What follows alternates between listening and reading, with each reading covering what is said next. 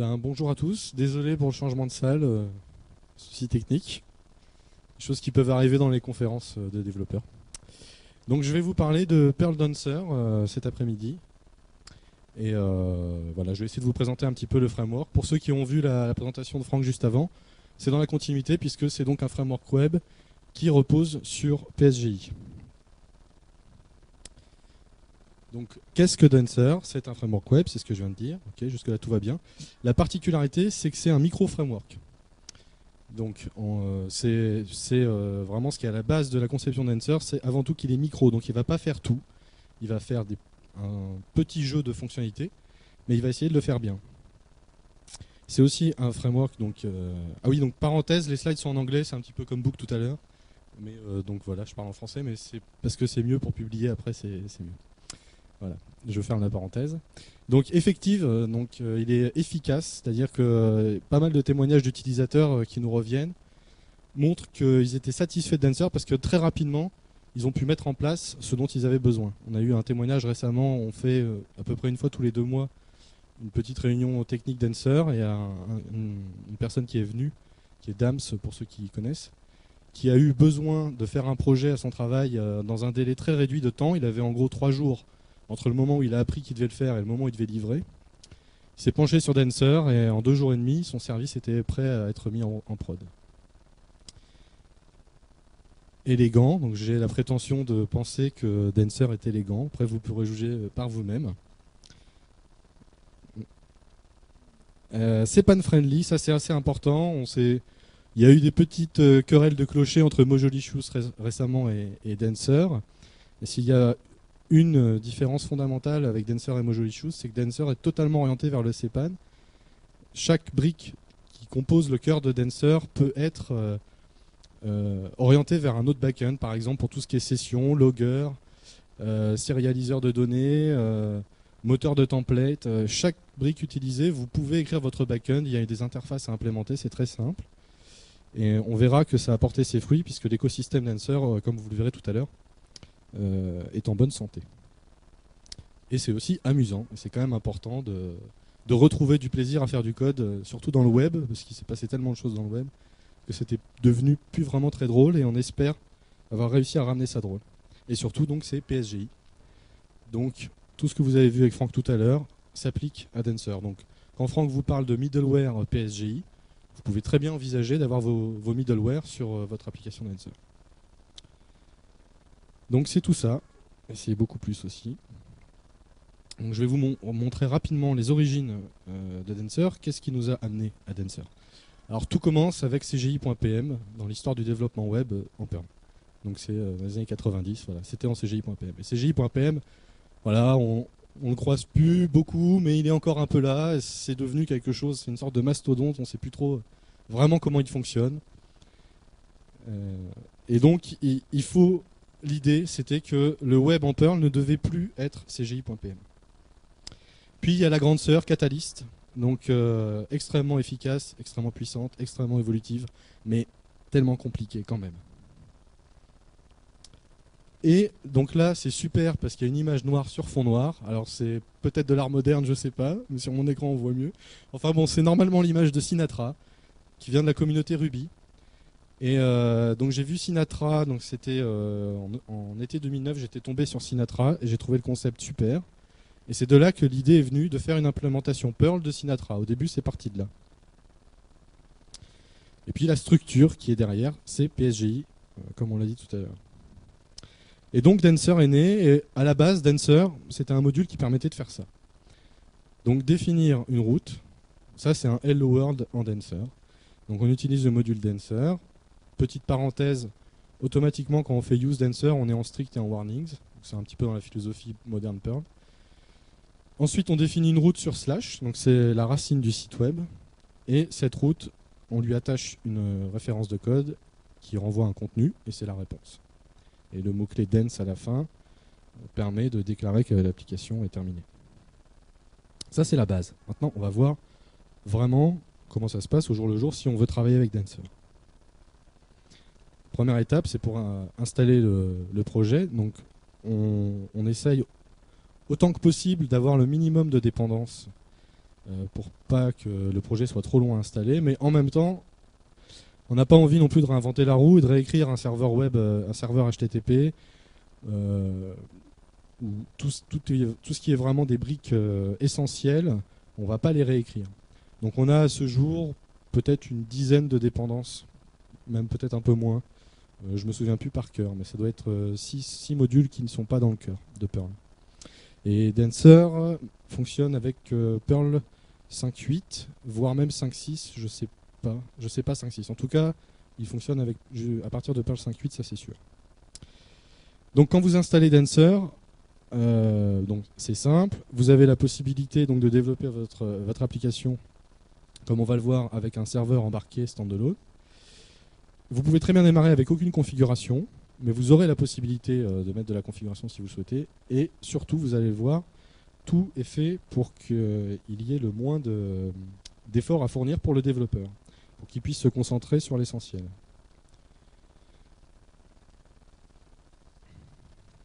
Donc voilà, ça c'est la, génération d'une application Dancer. Donc Dancer euh, est fourni avec un script qui s'appelle Dancer et qui vous permet de générer un script, un, squelette d'application. Donc là, Dancer-A, le nom de mon application, j'ai un répertoire euh, super app qui va être créé. À l'intérieur de ce répertoire, j'ai un répertoire bin qui contient un script Perl qui est mon serveur standalone. Mais c'est également une application PSGI, comme on l'a vu avec Franck tout à l'heure. Donc si vous faites euh, ce que vous a montré Franck tout à l'heure, par exemple plackup bin app.pl, bah, vous utiliserez bah, le serveur standalone de plaque pour lancer votre application. Ça marche de la même manière. Et donc là, on a un serveur standalone euh, qui tourne. Et donc on peut déjà commencer à développer euh, sans aucun souci. Pour déployer, bah, évidemment, comme on est compatible PSGI plaque, on peut aller quasiment partout. Maintenant, je vais vous montrer ce qui constitue le cœur d'une application Dancer. Le principe d'une application Dancer, c'est qu'on définit notre application avec des routes. Et à ces routes, on y attache des actions. Donc on va voir. Qu'est-ce qu'une route? Ce qu'on appelle une, route ou un route handler, c'est un, tri, un triplet. Une méthode HTTP, un chemin et une subroutine. Voilà. Donc là, on a la méthode, le chemin et la sub. Ça, c'est une route. Alors l'expression la, plus simple d'une route, c'est une route statique. En voici une. Get slash something. Donc quand on aura une requête qui arrive sur slash something, on rentrera euh, ici et on retournera la chaîne static route. Bon, c'est bien, mais c'est un petit peu limité. On a peut-être envie d'avoir des paramètres dans cette route qui peuvent bouger. Donc ici, on utilise ce qu'on appelle les name tokens. Donc vous remarquerez que user est précédé du, signe 2 points. Ça permet de dire, eh bien, je vais matcher slash profile slash étoile et quand j'aurai un match qui va se produire, le hash euh, params sera peuplé avec le nom que j'ai donné à mon token. Alors vous remarquez qu'on est en Perl, mais qu'on n'utilise pas euh, underscore, on ne, on ne déshifte pas nos paramètres, on n'a pas une référence d'objet dans nos subs, c'est voulu. C'est un choix euh, c'est un choix conceptuel euh, à la base de Dancer on, cherche à être un domaine spécifique language. En fait, on cherche à fournir un jeu de mots-clés assez réduit à l'utilisateur, mais suffisant pour définir son application web. On veut aller vers la syntaxe la plus expressive possible. Certains nous l'ont reproché, mais mine de rien, tous ceux qui trouvent Dancer intéressant, c'est une des raisons euh, pour lesquelles euh, c'est le cas. Petit problème. Euh,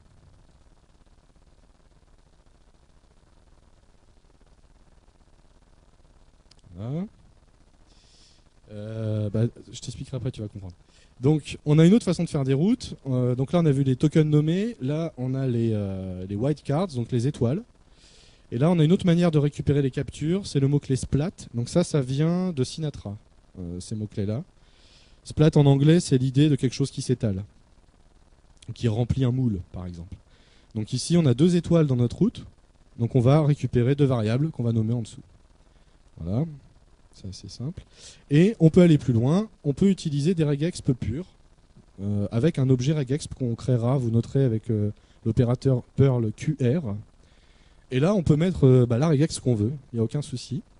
Si on fait des matchings avec les parenthèses, De la même manière, on les récupérera avec Splat. Et ici, vous imaginez bien que bah, vous avez la puissance du moteur de regex Perl pour définir votre route. Donc il n'y a pas de limite.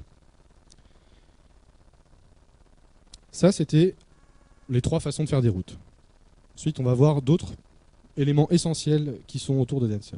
La configuration. Vous pouvez très bien vous affranchir de la configuration parce que Tensor repose sur le concept convention over configuration. Donc, toutes les, settings euh, nécessaires au cœur ont des valeurs par défaut qui font sens, mais vous pouvez les changer. Vous avez plusieurs manières pour les changer. La première, c'est un mot-clé qui est fourni dans l'espace de nom de Dancer qui s'appelle setting. Et dans votre code, vous pouvez faire setting clé valeur. Ça va changer la valeur de votre choix. Mais vous avez aussi la possibilité de stocker toutes vos settings dans un fichier YAML à la racine de l'application qui s'appelle config.yml. Et vous avez aussi la possibilité de ranger vos fichiers de config si vous avez envie de faire différents environnements dans un répertoire environnement. Dancer interprétera tout ce qu'il trouve en fonction de l'environnement courant.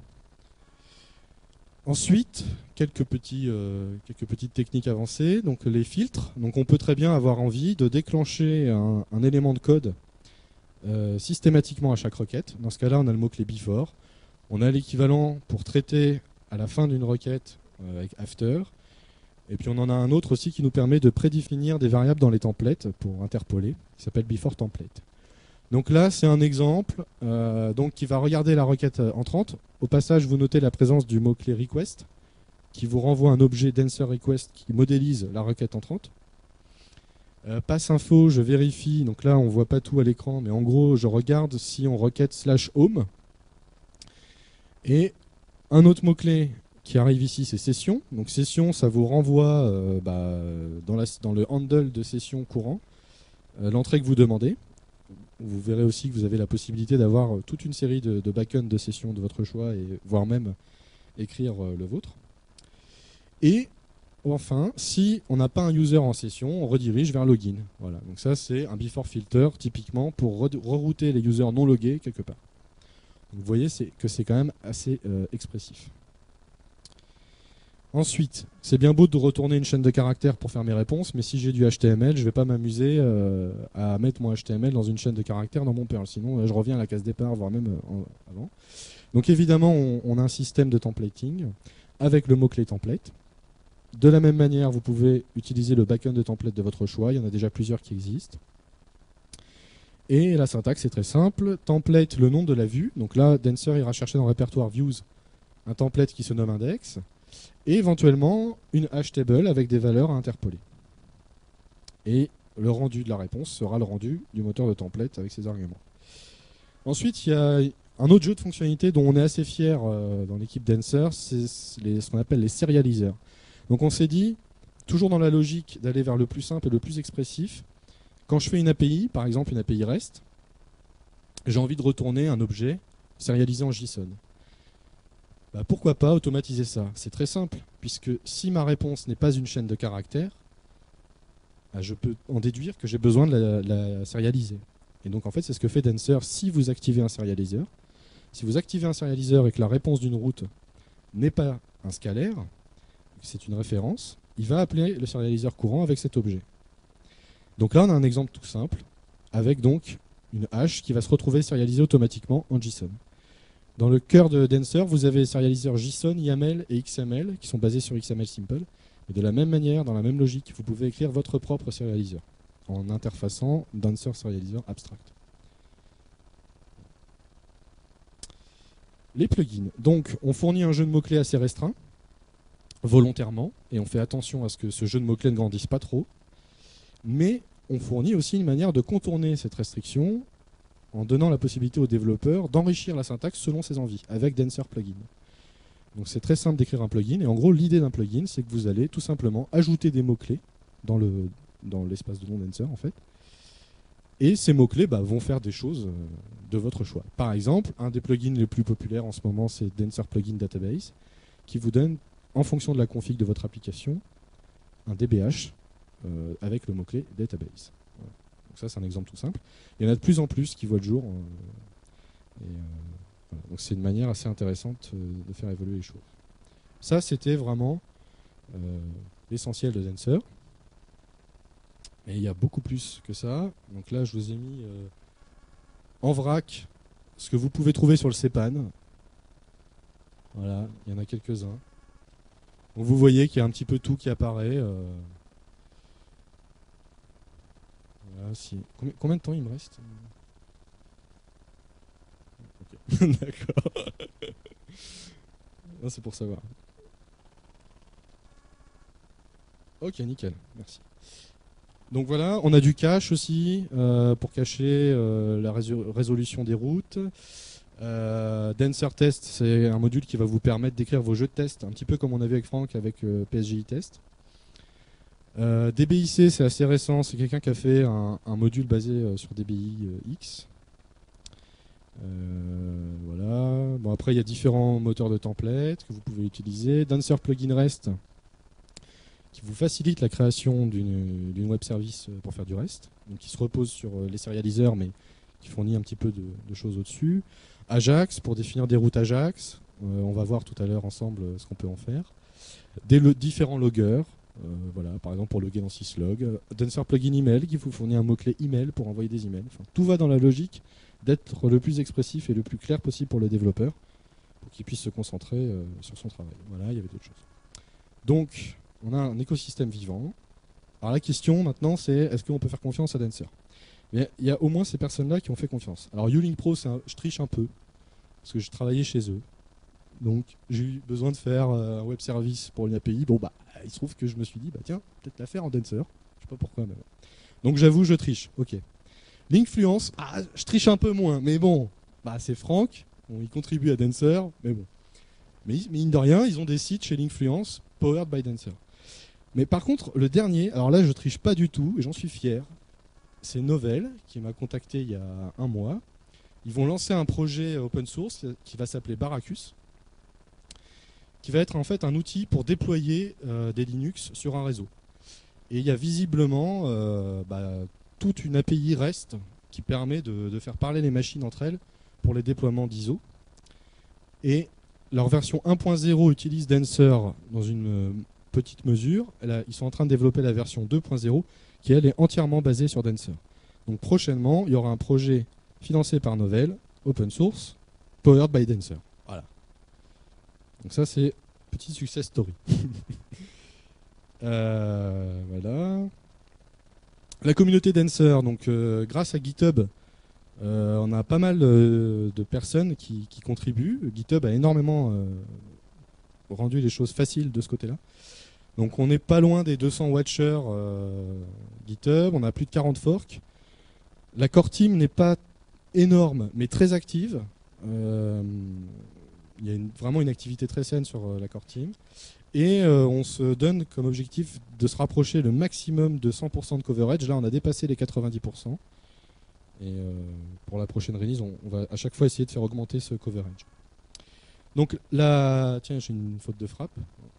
La, version actuelle de Dancer, c'est donc presque la version 1.2. Elle est, euh, elle est déjà utilisée par pas mal de personnes, on a pas mal de retours, donc c'est déjà, utilisable. Euh, mais là, on s'est focalisé sur Dancer 1.2. Donc on a freezé le code, on fait plus de nouvelles euh, fonctionnalités, on est satisfait de notre jeu de, de features. Mais on veut vraiment que quand les Dancer 1.2 sera là, les gens qui l'installent, il n'y a plus le moins de soucis, que ce soit de la documentation, un bug ou, ou je ne sais quoi, ou le support plaque, parce que comme plaque, vous pouvez vous déployer partout. Il faut beaucoup d'exemples de configuration dans plein de cas, il faut s'assurer que ça marche vraiment bien tout le temps partout. Donc on est en train de préparer la 1.2. Et puis on fera des t-shirts et on aura un nouveau design de site et tout et tout et tout. Voilà. Alors maintenant, je me suis dit pour cette présentation, quand même, c'est bien.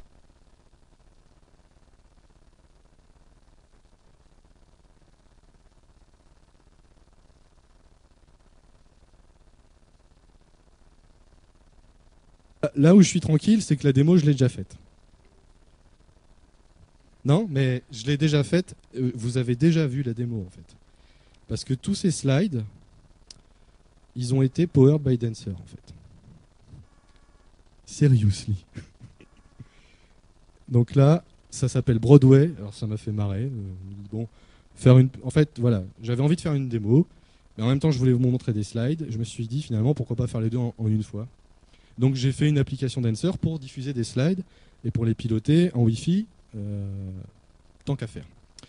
Donc ça fournissait un cas nickel pour faire euh, une démo et on va regarder ensemble. Donc je l'ai appelé Broadway. C'est sur GitHub. Donc ça vous permet de diffuser des slides, comme vous vous en doutez. C'est basé en, Ajax.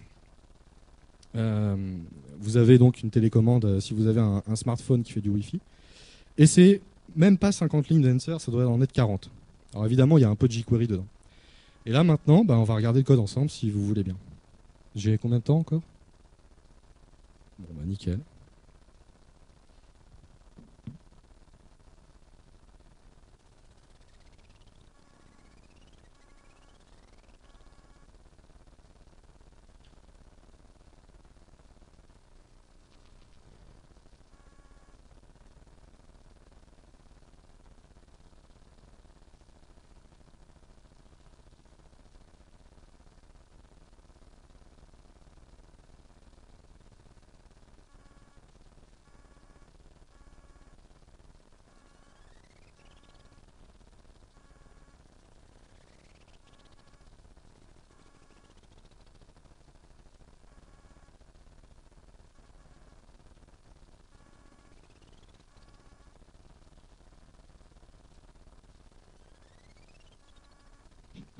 Vous, arrivez à lire ou pas là?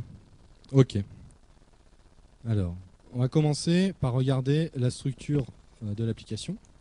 Donc cette application, elle a été générée par Dancer-A Broadway. Donc c'est le petit utilitaire qui vous scaffolde une application. J'ai un répertoire bin qui va contenir mon serveur standalone. J'ai un répertoire config.yml pour des, les valeurs de configuration. Un répertoire libre. Alors vous pouvez peut-être noter qu'on est dans le schéma d'une distribution cpan-like. Euh, on a un makefile.pl, on peut même faire make test, on a déjà des tests prédéfinis pour notre application pour vérifier par exemple que la route slash renvoie un HTTP code 200.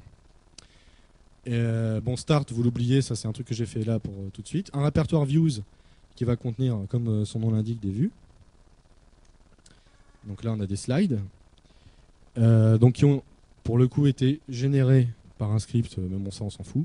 Ce qui nous intéresse c'est Dancer. Vous avez également dans ce qui est important à noter un répertoire euh, public dans lequel vous mettez tous vos fichiers statiques. Donc les CSS, les JavaScript, les images, ils vont ici. Et puis euh, répertoire T pour les tests. Le reste, c'est accessoire, c'est propre euh, à l'outil Broadway. Donc là, on va commencer par regarder ce que fait le, le bin app.pl, qui pour le coup, on n'a pas à le changer du tout. Il fait use Dancer, use Broadway dance. Point. Donc en fait, Broadway, c'est mon application. Dancer, c'est comment j'écris mon appli. Et puis dance, ça veut dire, bon bah vas-y, je suis prêt. Bien, donc tout se passe dans Broadway, visiblement.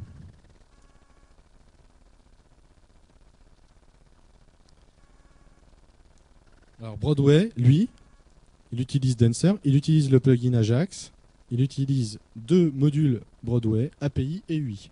Ça, c'était juste un choix personnel, j'aurais très bien pu mettre tout ici, mais c'était plus clair de diviser en deux.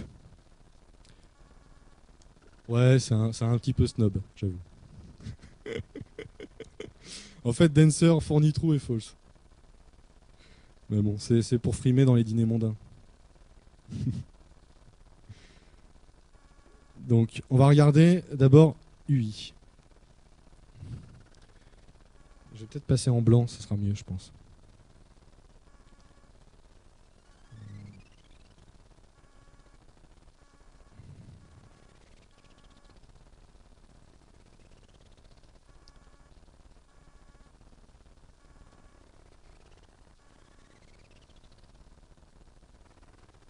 Là c'est bien là. Alors, Dancer, plugin Ajax.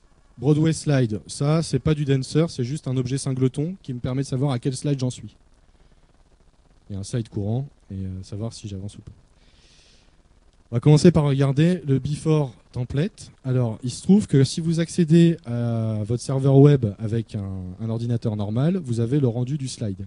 Et si vous y accédez avec un smartphone, vous avez un autre rendu pour avoir les contrôles JavaScript pour euh, faire précédent et suivant. Donc ici, on a un cas très pratique. On veut détecter quel rendu on doit faire. Donc pour ça, on va regarder le user agent et mettre un token dans les templates booléen. Et ben ça se fait comme ça, before template, qui sera appelé avant chaque rendu de template, qui reçoit en argument les tokens et qui va pouvoir peupler. puis la condition. If request de user agent match Android ou iPhone, par exemple. Bah, à ce moment-là, alors debug, ça c'est pareil, c'est fourni par Dancer si on veut écrire dans, les logs de debug.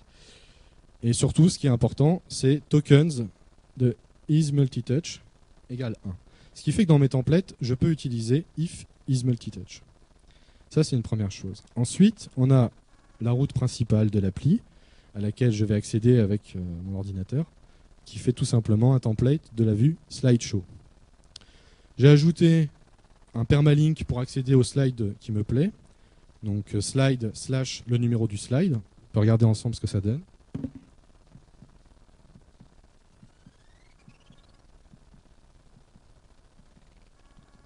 Donc là, vous voyez que je suis avec un browser sur localhost sur le port 3000. si je demande le 22, j'ai le slide 22 qui s'affiche. Alors, ça c'est le truc euh, que j'ai découvert en testant, c'est que tu streams tes slides sur tous les PC qui se connectent au serveur web. Ouais, c'est... Voilà, si on avait un vrai Wi-Fi, on pourrait. Chacun pourrait avoir une retransmission du slide en fait. Euh, bah, disons que si le Wi-Fi, on avait un vrai réseau local, euh, je te donnerais mon IP, c'était bon. Il écoute, non, par défaut, il écoute sur 0, 0, 2 points. Donc il match tout. Mais c'est vrai que ça donne un c'est un side effect marrant, c'est que ça fait comme une télé de slide. Et que j'ai découvert ça, ça m'a fait marrer. voilà, donc ça c'est le permalink. Refresh slide, alors ça c'est une action Ajax qui est appelée par la vue slideshow en fait. Dans un monde idéal, on utiliserait les WebSockets pour savoir si le slide a changé. Dancer 1.2 ne supporte pas encore les WebSockets. C'est un chantier qu'on fera pour la version d'après. Donc pour l'instant, je suis obligé de faire des, des polls euh, réguliers, euh, pardon, pour savoir si le slide change. Donc c'est un petit peu bourrin pour l'instant, mais bon, en fait, régulièrement, la vue euh, courante va demander en Ajax si le slide a bougé. Parce que je peux le changer avec mon iPhone. Oui, oui, ça veut dire que c'est pas du tout sécure. N'importe qui pourrait y aller, faire la requête qui va bien. Enfin, c'est... Pour l'instant, c'est juste fait pour attaquer un laptop et un téléphone. Hein. donc, euh, c'est pas du tout sécurisé. Euh, et, donc, cette action-là permet juste, euh, finalement, de, de, faire un rendu du slide demandé. Si on regarde Display Slide, elle est juste définie au-dessus. Elle prend le slide, elle formalise à partir de son numéro le nom d'une vue et elle return le template. Donc là, on a, on a vu toute l'UI. Donc euh, on a toute l'UI plus un permalink dont on ne s'est pas servi. Et ici, on est à 40 lignes. Ensuite, on a un deuxième module qui est donc que j'ai appelé API, qui est en fait toutes les requêtes Ajax justement de remote control. Next, previous, first, last. Alors c'est tout simple, c'est juste un binding Ajax sur le singleton. Voilà, en gros. Current slide, on notera qu'il renvoie un objet JSON et que vos serialiseurs, vous pouvez aussi les utiliser avec des mots-clés. Donc tout JSON, tout YAML, tout XML. C'est des petits mots-clés, vous leur donnez un objet et ça génère une réponse qui va bien. Voilà, bah là on a, on a vu tout le code Dancer. Après, euh, après c'est essentiellement euh, des. Il y a une vue en fait qui fait tout. C'est slideshow.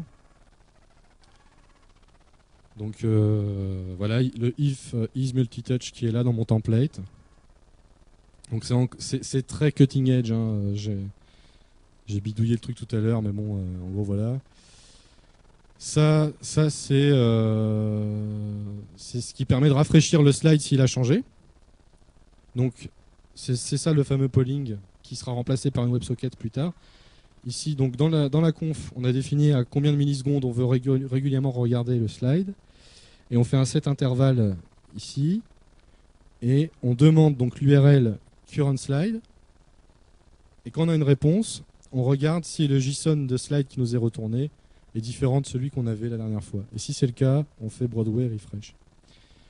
Et voilà en gros, euh, voilà en, gros l'essentiel du code. Alors ça c'est ultra con. Euh, j'ai été au plus simple parce que j'ai eu cette idée avant-hier donc, euh, fallait que j'aille vite. Donc, en fait, ce que j'ai, c'est que j'ai une fausse vue.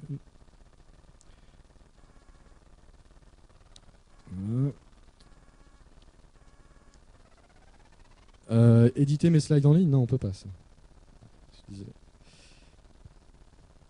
Non, non, en fait, c'est un script, enfin, c'est une sorte de fichier qui contient des fragments de HTML séparés par un petit signe 3, 3 égales. Et après, j'ai fait un script Perl à la con qui split là-dessus et qui génère les vues. Et c'est assez pratique parce qu'on peut écrire les slides euh, d'une traite. je me suis un peu inspiré de Vroom, euh, si vous vous souvenez de, de. Euh, voilà, et donc il y a un, script Perl vraiment tout con qu'on lance, qui prend le fichier, qui découpe sur les égales et qui écrit les vues au même format qui vont bien dans le répertoire views. Donc, hmm?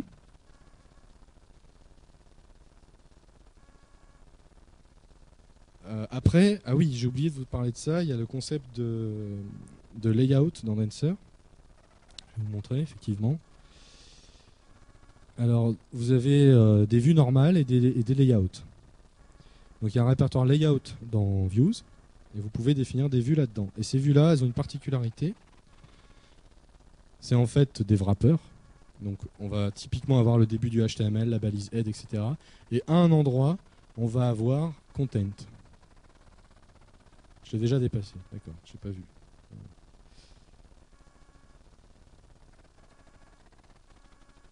Je ne sais pas si vous le voyez, moi je vois. Ah ouais, voilà, il est là. Eh ben, par défaut, si vous activez ce layout-là, chaque fois qu'on fait une action, on va faire, Dancer va faire le rendu de la vue qu'on a demandé et il va l'interpoler à l'endroit où il y a content dans le layout. Donc ici on a un layout et puis les petites vues vont se, mettre, vont se greffer à l'intérieur. Mais après, c'est un petit cas particulier, puisque comme on est en Ajax, quand le slide change, c'est en Ajax qui remplace un div dans presse. Voilà, sinon euh, on peut aussi voir euh, le fait qu'il y a un fichier de config. Alors, euh, c'est un, petit, il y a des petits trucs intéressants, c'est qu'on n'a pas, comme je voulais, c'est un petit netbook qui est pas très puissant, donc je voulais que ça s'affiche le plus vite possible. Donc j'utilise le moteur Template Toolkit en lui demandant de compiler les vues. Alors voilà comment ça se fait en Dancer. En fait, par défaut, on utilise un, template, un système template très simple qui est fourni avec Dancer, qui n'est pas très puissant. Si on veut aller plus vite, exemple, on peut prendre Template Toolkit. Donc là, on dit Template, Template Toolkit. Donc là, ça va activer le backend Template Toolkit. Et ensuite, on a une entrée dans la conf Engines, Template Toolkit. Et là, tout ce que je mets, ça sera donné à l'objet Template Toolkit quand il sera instancié. Typiquement de la conf Template Toolkit. Euh, voilà. Qu'est-ce qu'on a d'autre euh, Donc le layout main, il apparaît ici. Donc ici dans ma conf, j'ai dit que je voulais utiliser toujours un layout main. Sinon, je pourrais le dire au niveau de mes routes. Le logger console, donc ça aussi, euh, je peux vous montrer vite fait.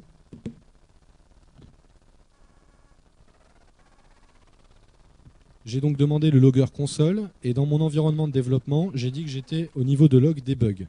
Il se trouve que j'ai quasiment rien en log debug. Moi, j'ai envie de savoir, par exemple, au niveau du cœur de Dancer ce qui se passe. Donc je peux descendre le niveau de log au niveau corps.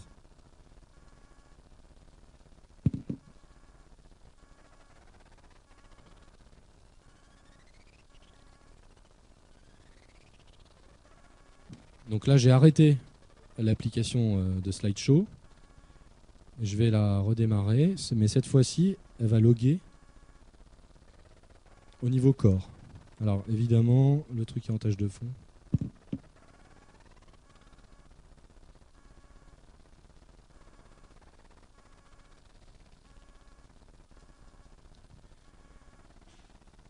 Voilà, donc là, on voit que j'ai un message ici qui est en fait écrit par Dancer, puisqu'on voit le mot-clé corps. Et si jamais je rappelle mon appli, on va voir les, les pollings qui vont se faire.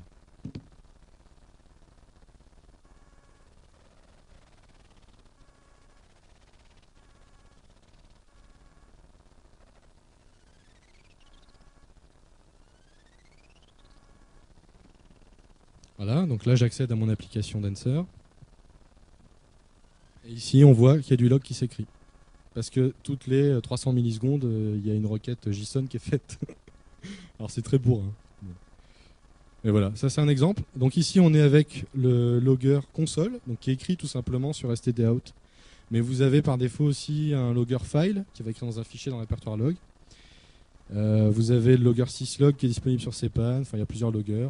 Pour les sessions, c'est pareil. Vous avez plusieurs backends, même cache. Vous avez une session euh, YAML pour le développement qui est assez pratique, qui écrit les sessions d'un fichier YAML. il y a toute une série de backends pour à peu près euh, chaque brique importante. Voilà. Si vous avez des questions. euh, Oui Attends, il faut un micro, je pense.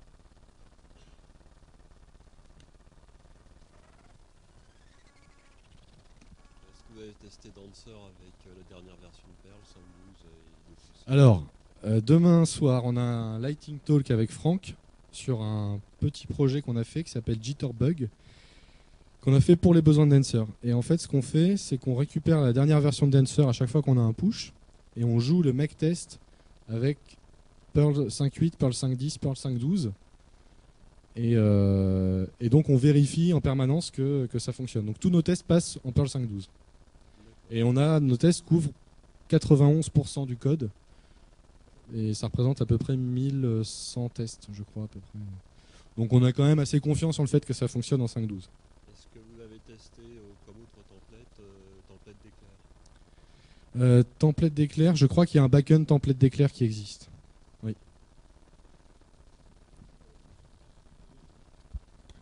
Il y en a beaucoup. Ah, pardon. Euh, sur Windows, vous le testez aussi? Parce qu'une fois sur trois, parfois ça marche pas. Alors euh, on n'a aucun développeur de la core team sous Windows. Par contre, euh, on fait tout ce qu'on peut pour que les tests passent sous Windows, on, on les surveille. Mais euh, comme on est, aucun de nous n'est sous Windows, euh, je peux pas garantir non, fonctionnement aussi bien que sous Linux. Ouais. Mais, Par- mais- mais même chose, plus de 91% des tests, enfin plus de, plus de 91% du code est couvert. Et sur les, les smokers, on, on vérifie bien qu'on a 100% des tests qui passent. Donc Et de temps en temps, avec Par, il ne, il ne marche pas non plus. de temps en temps, quoi? Avec Par, il ne passe pas. Ah. La- la- le, le pseudo compilateur. Ça, je ne sais pas. ça. Ouais, d'accord.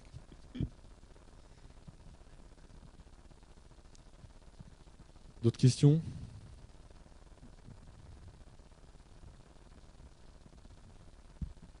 Ouais, est-ce que vous avez du support pour des trucs du genre euh, authentification digest euh, HTTP, des choses comme ça enfin, Euh, bah, Franck, tu, tu veux répondre peut-être? Parce que tu as l'air de dire oui et tout. Euh, pour les authentifications basiques, on utilise, on se base sur les middleware en fait de plaques, ce qui fait qu'on n'a pas à gérer ça au niveau du corps.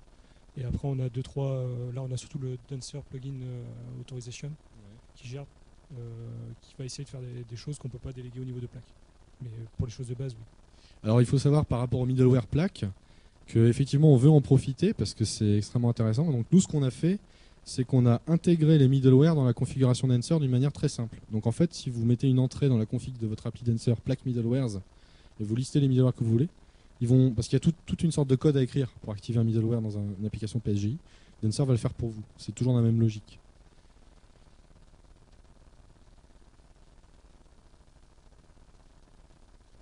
Au niveau base de données, euh, on a donc. euh, alors, ça, j'ai oublié de le dire, j'oublie à chaque fois de le dire. Dancer n'est pas un MVC. Euh, c'est un V, c'est un C si on veut, mais c'est pas un M.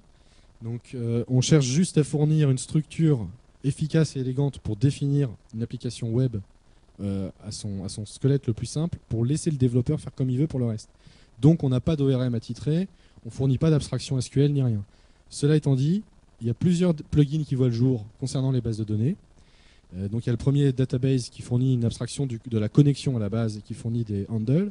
Et là, depuis euh, peu, on a un plugin pour euh, DBX Class, je crois, donc qui permet de formaliser un petit peu la façon d'utiliser les modèles DBX Class dans Dancer. Et c'est quelque chose de très, actif. Les personnes qui s'en occupent l'utilisent et, je pense que ça va être amené à bien évoluer de ce côté-là. Mais ça ne sera jamais la vocation de Dancer de fournir ça clé en main. Ce sera un plugin toujours. Alors, je, je connais pas Dancer et je connais pas non plus Mojolicious, mais apparemment les deux sont souvent comparés. Euh, Qu'est-ce que c'est que Mojolicious et c'est quoi les différences Alors justement, euh, sans rentrer dans, dans un troll comme le ferait quelqu'un chez Mojolicious, Mojolicious, euh, c'est justement MVC, un- et c'est même plus, c'est un framework complet. Et voilà, et même cette personne revendique que Mojolicious est Catalyst 2. Voilà. Euh, après, ils sont souvent comparés avec Dancer parce qu'il y a un layer de Mojolicious qui s'appelle Mojolicious Lite, qui pour le coup fournit exactement le même sucre syntaxique que Dancer. Et du coup, si tu prends Mojolicious, tu prends quelque chose d'énorme et tu as la possibilité d'écrire une application de cette façon-là. Mais tu as quand même pris un truc énorme qui fait plein de choses. Ça, c'est la différence fondamentale. Nous, on, se veut léger et on, fournit peu de choses. Après, ils ont un autre point de vue qui est complètement différent du nôtre. Ils veulent tout faire, de A à Z, en Perl 5 natif. Donc le serveur HTTP, il sera écrit par les gars de Mojolicious. Euh, tout de A à Z sera écrit par eux. Alors il n'y a aucune dépendance, et ça c'est leur objectif. Mais d'un autre côté, il faut quand même accorder un crédit assez énorme aux développeurs de Mojolicious, parce que chaque moindre ligne de code qui va intervenir est écrite par eux. Donc moi je préfère dire que HTTP serveur euh, PSGI, euh, c'est son rôle de faire un HTTP serveur, c'est pas le rôle de Dancer. Et avec tout ce que ça comporte de se reposer sur des modules CPAN maintenus. Quoi. Donc ça c'est une différence de stratégie. D'autres questions Bah, Merci beaucoup. De rien.